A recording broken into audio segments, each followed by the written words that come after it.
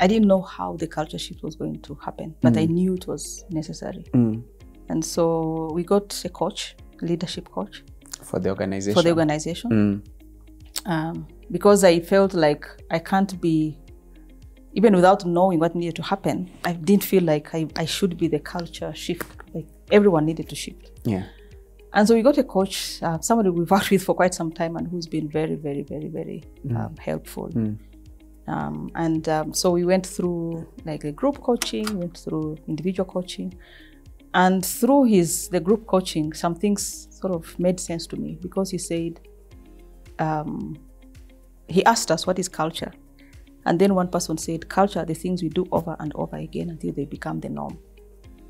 And so for me, that was like, wow. So if we've been doing something over and over and it became the norm, we can actually do it and do something different, and then that thing will become And you know. a new norm. Hmm. So it's possible to change culture hmm. by doing something hmm. that is desirable and is different. And then the other thing he said that people do what is rewarded. That's true. So when you reward grants and you reward sending emails at midnight, then people do it hmm. because they're going to get a reward out of it. Hmm.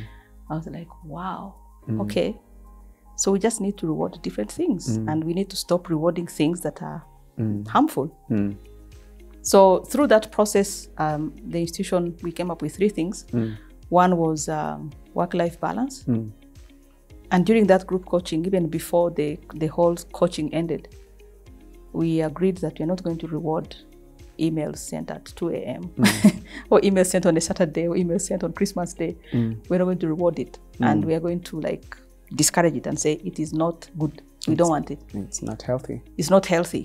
Just just changing the email behavior really transformed within days, like transformed everyone's life.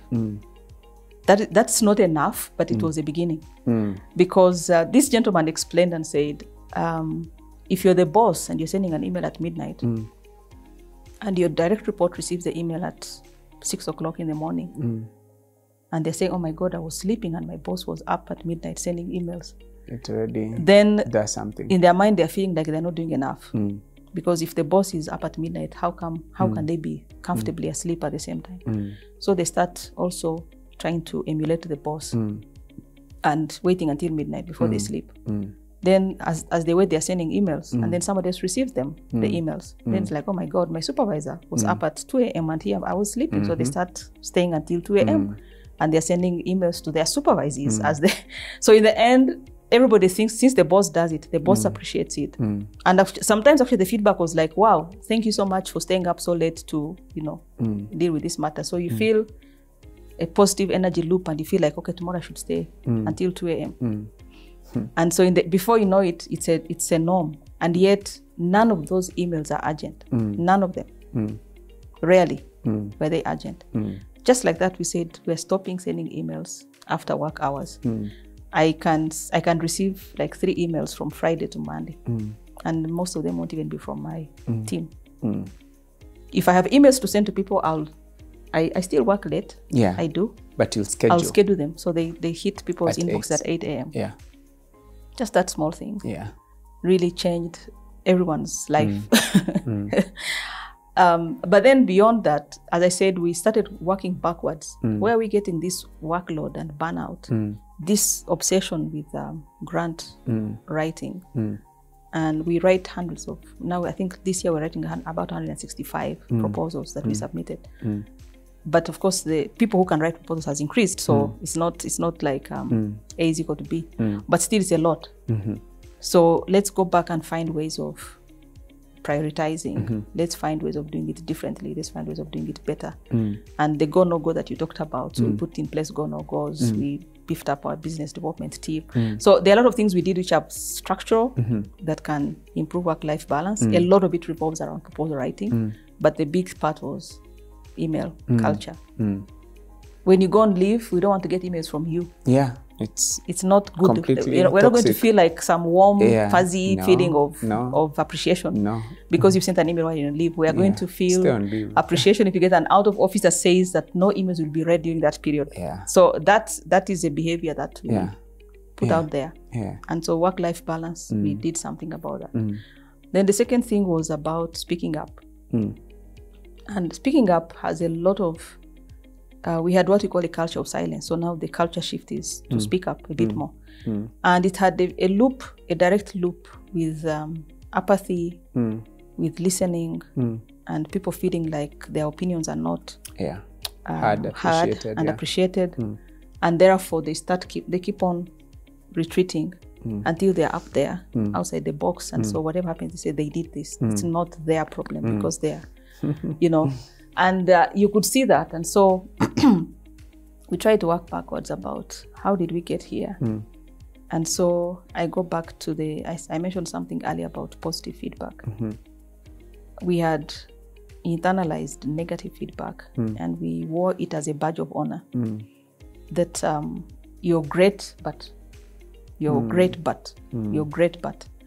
Um, so I will focus on the 95% of the things that you did that were outstanding. They are all summarized as great. And then I'll spend two hours talking about the 5%, the but. And that was a model that we embraced and we liked, and it served us well for some time.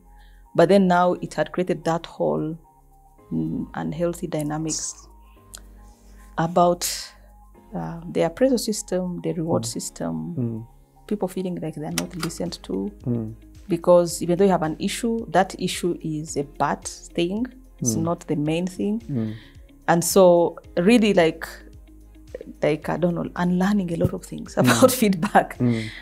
Yeah, uh, people who came for our interviews, they would tell you, "My goodness, this is the worst interview I've ever attended," because everybody like zeroes in on the negative. You come and do a job talk, and immediately once you stop talking, everybody's going through. This was there's a mistake here, there's a typo here, your slides are crowded, and this, and so and it's, people just pile on. So that culture, we we as I said, we, it was like a badge of honor for us, and that translated into the way we relate with each other, hmm. not just for interviews, for seminars and hmm. internal webinars, and we call them brown bags, hmm. and um, appraisals. So really, it had knocked up, it had knocked down many people. Mm. People had been knocked down. Mm. Somebody does their best. They go for an appraisal. They spend two hours, and they mm. spend ninety-five percent of the time talking about the one mistake they made, and then they spend five percent of the time talking about the great things that they did. And so people felt unappreciated um, and Devalued. undervalued. And so it had created a completely different dynamic, and le- which had led to apathy. So people had sort of stepped aside and they were hmm. like, let them, hmm. you know, run the institution. Hmm. So really, that like moment of clarity about the value of being nice in the way we give feedback has been transformative. And when we talk about the culture shift, I think for me that's the fundamental part because, like, stopping email culture, that is something that um, is very easy. But really learning how to be nice again, Mm. that has been That must be nice again. And institutionalizing it. and institutionalizing, Yeah. institutionalizing it. yeah. Yeah. So As part of culture. You said there were three things, and the third one? the third one was how to maintain excellence, mm. and so that was the question of what is excellence mm. to us. And um, yeah, people sitting down and defining what excellence means to them, and then seeing how do we keep it. Mm. As I said, some things are behavioral, like mm-hmm. people changing the way they do things, but some are structural. Mm. So, mm. like um, you know, the go no go stuff, all that um, is about that. If you reduce the workload and improve work life balance, you're likely to lead into excellence. So, like um, every person had to define what excellence means to them, and then now we try to put things that support Mm. People. but then a lot of it also depends on individual behavior. Música